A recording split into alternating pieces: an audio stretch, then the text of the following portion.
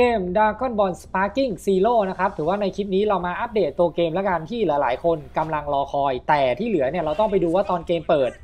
จะตรงปกหรือเปล่าค่อยว่ากัน เอาล่ะสำหรับในคลิปนี้เรามาอัปเดตเนาะซึ่งหลายๆ คนอาจจะยังไม่ทราบข่าวก็เลยมาทำคลิปนี้ ให้ฟังแล้วกันเผื่อว่าเกมมาแล้วมีสนใจจะได้มีเกมเล่นแล้วกันนะครับโอเคมาเดี๋ยวเราเริ่มเลยแล้วกันเนาะซึ่งส่วนตัวเนี่ยมองก่อนว่าไอ้ Sparking Zero เนี่ยหรือเรียกผมว่ามันน่าจะใช่นะ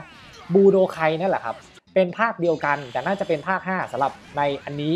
ซึ่งไอ้ Budokai เนี่ยหลายๆ คนอาจจะทันหรือไม่ทัน ซึ่งแน่นอนอาจจะบ่งบอกถึงอายุเลยเนาะส่วนตัวผมก็เคยเล่น Budokai ตอน Play สองเรียกว่าไม่พลาดดีกว่ามันเป็นเกม Dragon Ball ภาพแบบเนี้ยในสมัยก่อนอะเดี๋ยวเรามาคุยกันว่ามันมีเสน่ห์ยังไง มีเสน่ห์ในการเคาน์เตอร์ครับเคาน์เตอร์ไปมาใครเคาน์เตอร์ได้ก็อาจจะ warp ไปอยู่ข้างหลัง แล้วก็การใช้skill การปัดป้อง skill นะครับการชาร์จพลังหรืออะไรต่างๆ แต่ภาพสมัยก่อน บอกกันตามตรงพอมาสมัยนี้คือแบบเฮ้ยแต่ก่อนเราเล่นกันแบบนี้เหรอวะ อันนี้คือที่เห็นนะ แต่ว่ามันหน้าภาพนะปัจจุบันเนี่ยโคตรสวยชัดเจนว่ามันสวยแบบคือมันสวยเลย แล้วก็ยังมีในส่วนของโกคูที่เป็นร่าง Blue ใช่ไหมอ่าร่างผมผมฟ้านั่นแหละ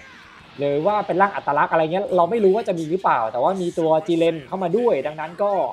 มีสิทธิ์สูงมากๆนะครับที่มันจะเปลี่ยนเป็นร่างอัตลักษณ์ด้วยนะครับเป็นร่างผมผมดำนั่นแหละ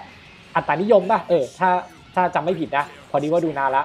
เป็นประมาณนี้นะครับสำหรับตัวเกม อันนี้คือภาพปัจจุบัน แน่นอนครับว่า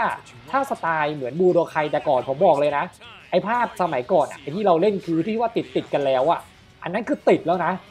ปัญหาคือถ้าภาพแบบนี้แน่ใจนะว่าจะไม่ คือโอ้โห มันอัปเดตมาดีขึ้นเยอะมากนะ อันนี้ก็ต้องขอชมสำหรับตัวเกมที่ออกแบบนะครับ แล้วก็คนที่ทำเนี่ยเป็นโทเอ ใช้อะไรเอนจินนะครับ แล้วก็บันไดน้ำโขกอีกแล้วนั่นเองนะฮะ ก็หวังว่าจะเป็นอีกหนึ่งเกมที่ถ้ามาแล้วเราน่าจะได้เจอกันนะส่วนในนี้ก็เดี๋ยวค่อยว่ากัน แต่เกมถือว่าเป็นอีกหนึ่งเกมที่ มันไม่ควรพลาดอะเออมันมีร่าง Blue ทั้งคู่อะทั้งอ่าทั้งเวจิต้าทั้งโกคูคือแบบเฮ้ยมันพลาดไม่ได้ป่าวะโอเคถือว่ามาอัปเดตข่าวละกันนะครับ ส่วนเกมมาเมื่อไหร่วันไหน เดี๋ยวเราก็ค่อยว่ากันอีกทีสำหรับ Dragon Ball Sparking Zero